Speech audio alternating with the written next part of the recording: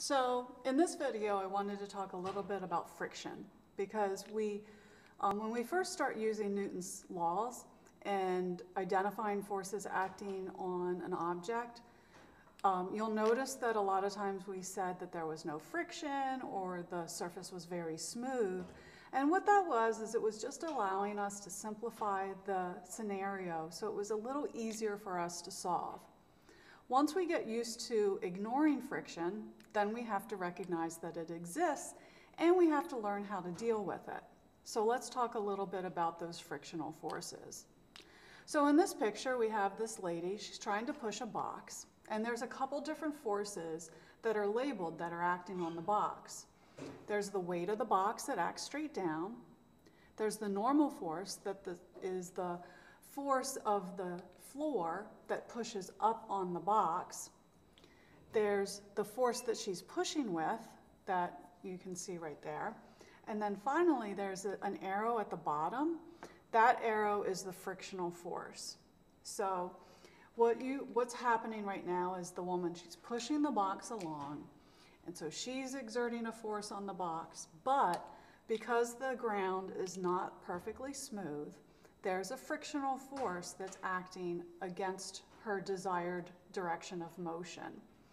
So there's two pieces of information in that scenario that are important to understand. One is the direction of that force vector is parallel to the surfaces that are interacting, the bottom of the box and the floor, and also that the direction of that friction is going to be opposite either the direction of motion or the direction of impending motion. Because you know perfectly well that sometimes you try to push something and you can't get it going. There's still friction in that case, but it's still would be in the opposite direction from the way things are going to start to move once they get moving. We're going to talk about how that, that friction when the object won't move is different from the friction of when it's moving. So you might wonder, why do we have friction in the first place? Well, it's actually the interaction of the two surfaces. So in this first picture, we just see a box sitting on a floor. And by visual inspection, we would probably find the box is relatively smooth, and so is the floor. But if we were able to magnify the two surfaces, we would actually see that neither one is perfectly flat. At the microscopic level, there is unevenness and roughness of both the surfaces. And what you can see is, you know, the different surfaces are almost like teeth um, that are you know, jagged, and you can sort of understand how they would sort of uh, impede the motion, you know? Like if you're trying to move those two things against each other, they're gonna kind of catch and it's gonna make the motion a little bit more difficult. In fact, you can sort of understand why it's easier to get something moving once you push hard enough and you get it moving. It's because it really allows less opportunity for those inner, those different rough surfaces to interlock, which they are doing when you have the object motionless. So the overall idea is the reason that we have friction is because of the interaction at, you know, a microscopic level between the two surfaces. There are two types of motion that we experience. Kinetic motion is basically when we have, kinetic friction is actually when there's motion. So we have kinetic friction if things are moving. Um, and we say then we have the force of kinetic friction. So this expression right here is the force of kinetic friction. What I want to sort of point out is that Greek letter there is the Greek letter mu. And it's the coefficient of kinetic friction.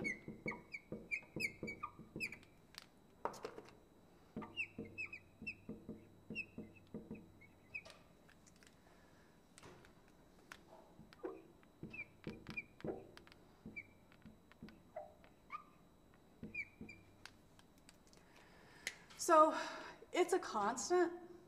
It's always going to be less than 1. And the coefficient of kinetic friction is a value that is going to be characteristic of the surfaces that are interacting. So for instance, you would have a different coefficient of kinetic friction. Oh, I need the K to make it kinetic. You would have a different coefficient of kinetic friction if you were talking about a ball interacting with the grass as opposed to a ball interacting with the pavement. You know that it's going to be easier to move with the pavement, therefore that coefficient of friction is going to be smaller. Again, I just want to remind you that these coefficients are always going to be less than 1, regardless of what they are. You can see in this expression that the force of friction is equal to that coefficient times the normal force. And so if you imagine an object sitting on the ground, you know that there's the normal force and the force of the weight. And so often, these two are going to be equal and opposite. So a lot of times, the normal force will be equal to the weight.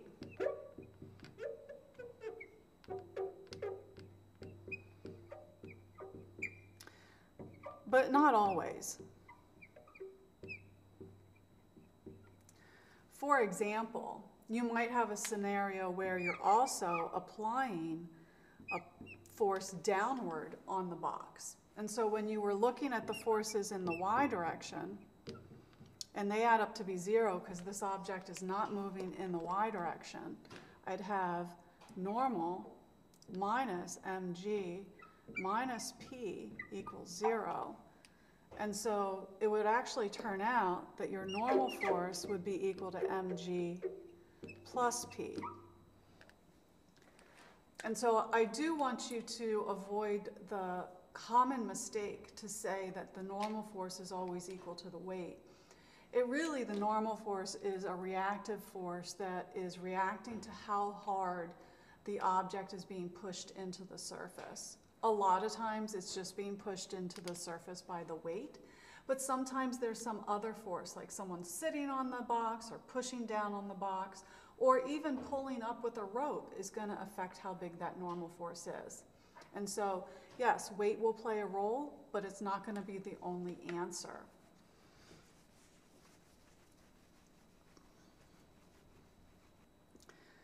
Static friction is a little bit different. Now, there is a coefficient of static friction. You can see right here, it's mu sub s. Um, in general, for a scenario, the coefficient of static friction is going to be bigger than the coefficient of kinetic friction. And if you think about sort of your common everyday experiences, that might make sense. For instance, let's say that you're moving into your dorm room and you had a lot of stuff in a box and you want to just move it to the other side of the room, so you just want to slide it. And you might just start pushing on that box and it's kind of hard to get it moving. And so you push a little harder and a little harder and it's not moving.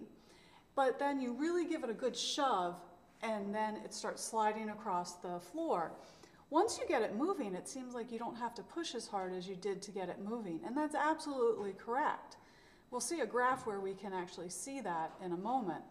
But it's important to understand that part of the reason is because the coefficient of static friction is always going to be bigger than the force of the coefficient of kinetic friction. There's something also kind of weird here where you can see that instead of a equality that says the force of static friction is equal to the coefficient times the normal, it's less than or equal to that. And that's kind of interesting, and we'll look at that at the end of the video in more detail with some numbers. The idea being that the force of static friction is only as big as it needs to be in order to keep the object from moving.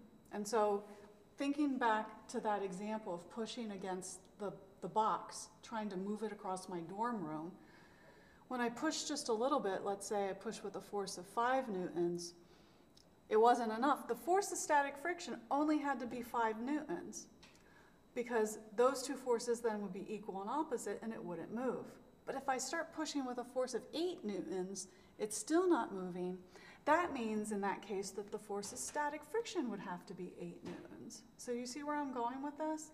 As I push a little bit harder, the force of static friction can actually change. Now, what happens when I get it moving is I reach the maximum that the force of static friction can have. The biggest it can ever be is equal to the coefficient of static friction times the normal. So let's say that was 10 newtons. If I pushed with 10 newtons, it didn't move, but then all of a sudden I pushed with 11 newtons and it starts to slide. Because the force of static friction had an upper cap on how big it could be, that was 10 newtons.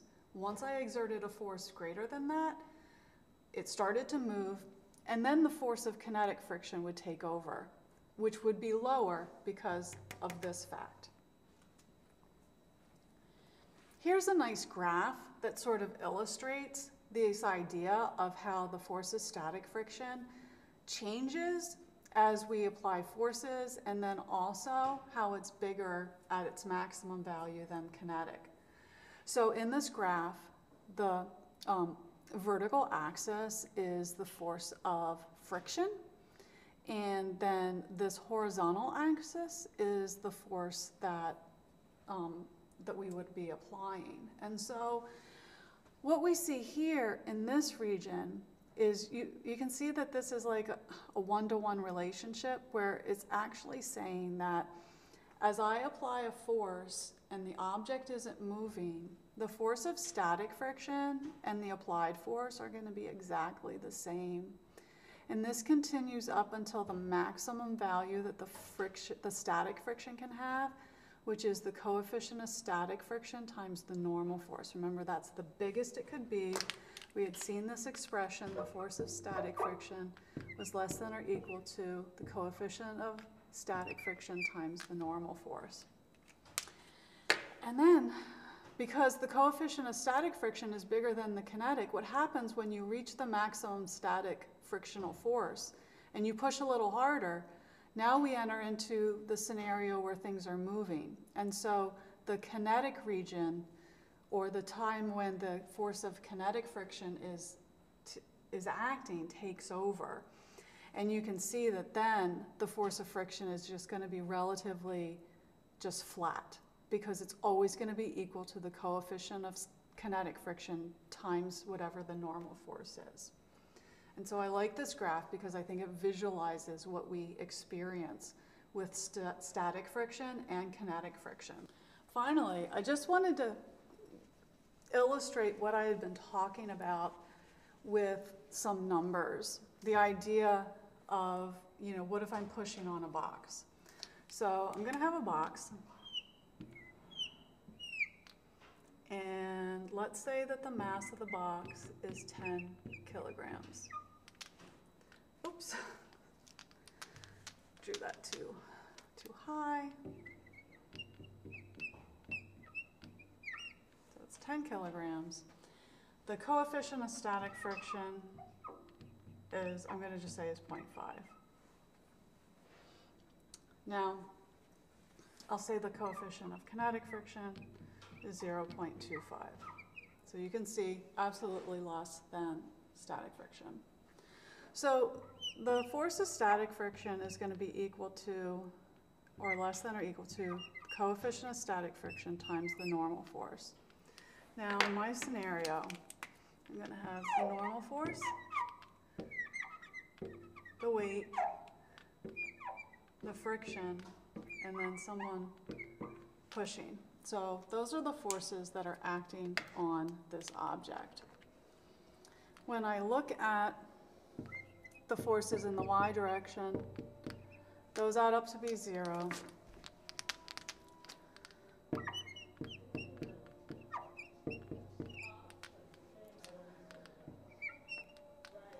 And I have normal force minus mg is equal to zero.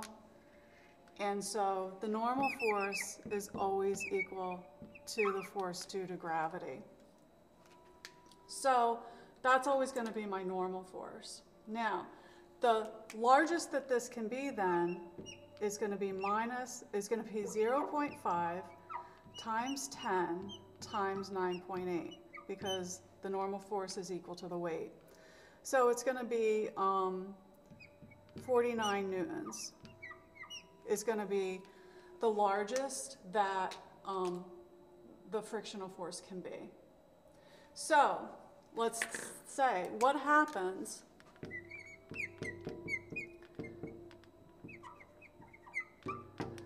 if I apply forces of different values. What if P is equal to 10 newtons? Well, then I have P minus the force of static friction. Well, what would that be? Well, it's less than the 49 newtons, and so this object can't move because the force of static friction can go up to 49 if I only push with 10 newtons. So we know it's not going to move, and so from this, the force of static friction is equal to P, and it's going to be equal to 10 newtons. So you might be confused because you say, well, why isn't it 49? If I used this expression and I said 10 here and 49 here, I would get a negative number, and it would actually indicate that the friction was pushing this box backwards, which we know isn't going to happen. And we can keep doing this. If we do P equals 15, the force of static friction is going to be 15. And we can go all the way up to 49 newtons. Even if P is equal to 49, then the static friction is equal to 49 newtons. And it's only when P is greater than 49 will we get past the static friction, and then we will actually have, so like as P equals 50 newtons, then I have P minus the force of kinetic friction is equal to the mass times acceleration. So in that case, once I exceed the force that the static friction can offer in resistance, that means that now I will have motion, and it also will mean that um, these two forces won't be equal and opposite to each other, but the frictional force will sort of slow down the effect of the push that I have. So instead of getting an acceleration that is reflective of a 50 newton force, it's going to be smaller and it's going to be, um, so this will end up being 50 minus 0.25 times 98 because that is mg. And that'll be equal to my mass times my acceleration. And so you're actually going to get an acceleration this time. And the other important thing is to understand that the force of friction that's going to be acting in this situ situation is the kinetic friction. So again, what I wanted to emphasize is that the static friction stays equal to the applied force up until it reaches its maximum value. Once you exceed the maximum value, the static friction isn't acting anymore and we're transitioning into motion and using kinetic friction.